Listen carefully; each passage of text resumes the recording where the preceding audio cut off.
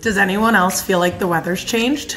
It's like it's fall outside all of a sudden and today's Thursday, so I was thinking we should make like a folly, cinnamony, pumpkiny, apple, everything we love about the fall kind of drink. Um, so we're gonna do a warm apple cider, uh-huh, with amaretto. Um, and we're gonna brulee an orange on there. And then what else? Caramel apple martini. And I'm not talking about like one of those like green apple martinis that a Fugazi would order. Like I'm talking about a dessert caramel, rich, creamy, beautiful martini. So let's check out what we're gonna do. Let's start with our first one. Our first one's gonna be a hot apple cider. And I have, we're doing fresh orange juice. We got a little um, cinnamon sugar that we're gonna burn the orange, you'll see. Pears and apples, a little vanilla. We got our amaretto, our spiced rum, vanilla vodka, apple cider. And I think we're gonna serve it in a mason jar. Let's get it going. So you're gonna need a pot. If not, you wanna make this a big batch, uh, message us and we will send you the recipe because I did this now twice um, for a party and we did it in a crock pot and let it stay warm for the party and served it with dessert, kind of like a mulled cider, um, but it works great. So in here in our pot, we're gonna put our four ounces of cider. We have one ounce of spiced rum, just gives that fall flavor one ounce of vanilla vodka, which the vanilla vodka really helps make it like a little bit sweeter. And then, because it's an amaretto warm cider, one shot of amaretto. I also am adding half a teaspoon of fresh vanilla. I'm going to juice half an orange, fresh orange juice. I'm going to be adding in a cinnamon stick, a couple slices of pear, and a couple slices of apple, and an orange. All in my pot. So we're gonna put this on the heat low for a simmer. Um, you can put cloves in there if you like. I personally don't like cloves. I think the citrus and the cinnamon sticks does it justice. And a little side note, you don't want this to come to a rolling boil and you don't want it to cook out the alcohol because the whole point of having a cocktail is for the cocktail and have a little bit of alcohol in it. And this one's actually a little bit on the stronger side, so you want to just warm it, especially because you want to drink it while it's scalding hot. Now, let's be honest, the reason we love cocktails and they look so pretty is the garnish. So I took an orange and I did some cinnamon sugar. And I don't know if you guys have this, but you get this at the store, a torch. And we're just gonna brulee the sugar for a little burnt while we heat up our um, cider. This will just start to caramelize. It's gonna add, some, let's light this thing back up. I'm doing this one hand, it's not easy. All right, there we go, it's back on. All right, just get a nice brulee of the orange rind. Oh yeah.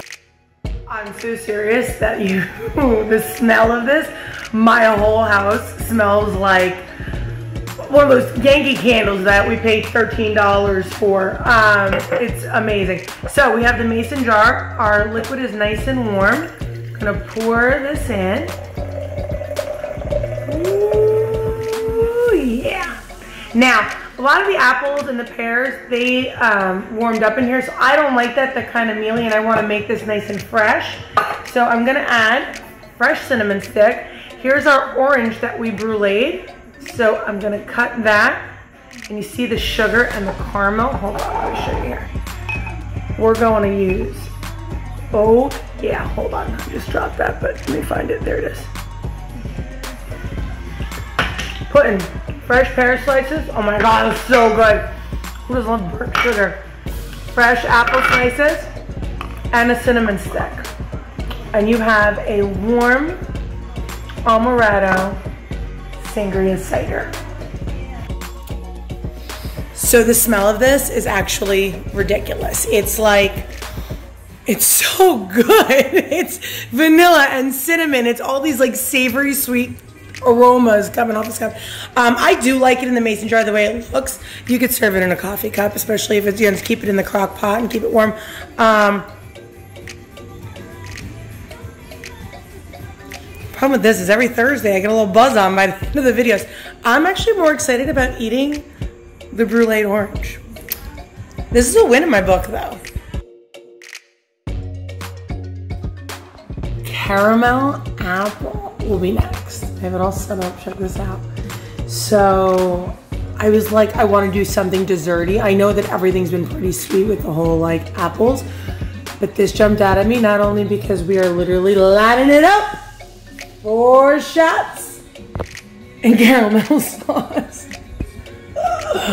Let's get it started. We're gonna use a fresh apple for garnish. There's some caramel sauce that we made, um, which you've seen me make before in our videos. A little ice, our shaker, and our booze. Let's get this martini going. Caramel apple martini! Okay, I love my martini glasses. Um, so what we're gonna do, let's bake a shaker, putting our ice in it. In our ice, you ready for this? A lot of stuff coming. Vanilla vodka, one ounce. Spiced rum, one ounce. Apple liqueur, one ounce. Caramel amaretto. This is our key ingredient. Okay, all three in here. We will shake, shake, and shake. I love when the whole glass, look, the whole thing gets all like frothy and cold. Okay, in our martini glass. Now, I usually, if I was making a Cosmo dirty, I put some ice water, get this cold. I don't want it to because I want to take our fresh, car fresh caramel, oh, homemade. Oh yeah, mama. Pour it over. Now let's shake it up again. Pretend like I'm in the 1950s and just be like, and there is your martini. This screams freaking dessert and it screams bugs. And then I just cut some fresh apples and I'm gonna let it, walk around closer to the camera, float on top.